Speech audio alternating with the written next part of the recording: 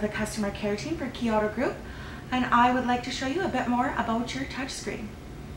Okay, so here we are inside a Buick right now and you can see that's a Buick IntelliLink. So it's a little bit different than what we just seen inside the Chevrolet we were just in. So let's just go to menu. Um,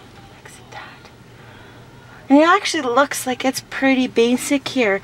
Um, so you can see all your different buttons all across the top. So here's where you have your music and you can hit a browse button which gives you your seek options. Um, so we can actually go back to that. Um, for FM you can have different categories of music. Um, you can just slide that down to get all the way across there. See, you can have your buttons back just by doing that. So we're going to hit exit here.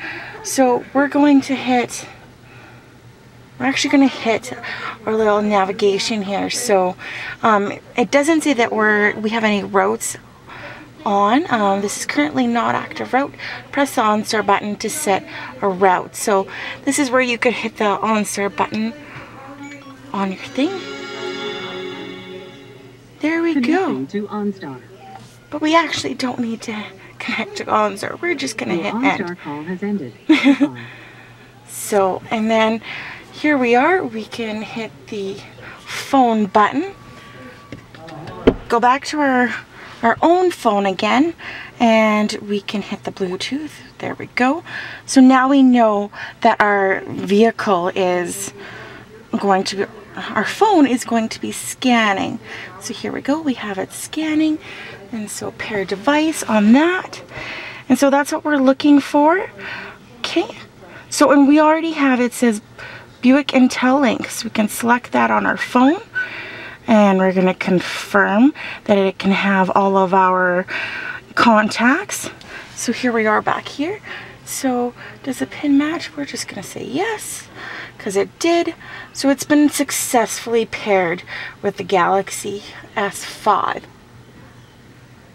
Okay, actually let's find our contacts. So here we go. We're going to select me again.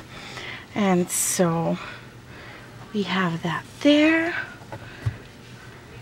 And let's just press that.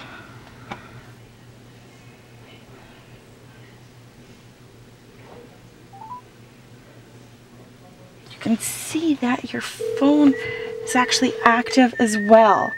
So, and you can see it on both. And we're just going to end that. So I ended it on the phone. It also ended it on there. And so that's how you can make your phone call through the Buick IntelliLink system. And so let's go back to the navigation.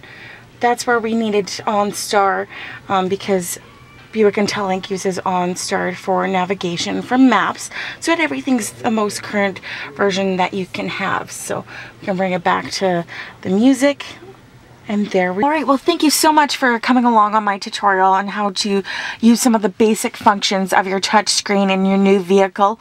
Um, if you have any more questions, how-to questions, any more questions about any of the technology in your vehicle, definitely feel free to let me know. Um, I'd like to do a video for them and for you, because if you're wondering the question, somebody else is also wondering it also. So you can reach me at bsl a-G-E-R at keychev.com. Thank you.